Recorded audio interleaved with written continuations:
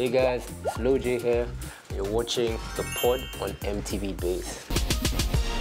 What's the name of your most recent EP and when was it released? The most recent EP is Love and Attention.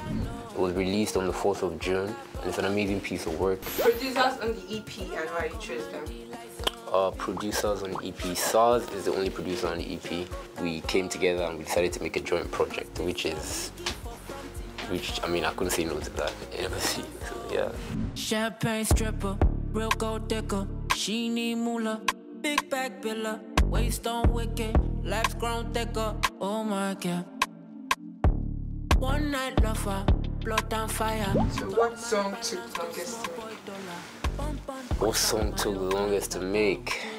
Um, I'll probably say Pakuja, and that's just cause like I made the song early in like the recording process, and but I finished the song like late in the recording process because I changed um, the second verse. So I guess from top to bottom, that was like the that was that's what took the longest.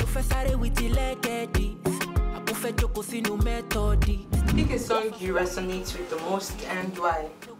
A song I resonate with the most. I'm, to be honest, I'm not sure.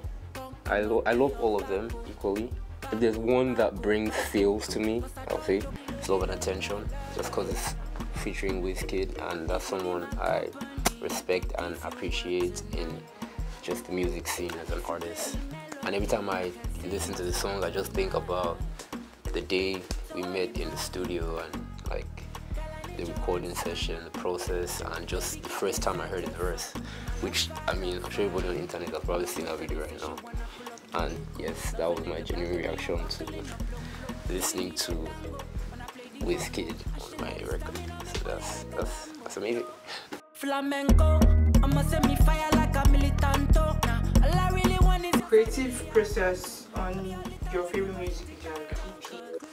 Uh, right now, Tongo is the only music video on the album. From the moment I was making the song, I knew what like I wanted the video to look like in my head, and they did so well, in my opinion. Like it was, it looks amazing.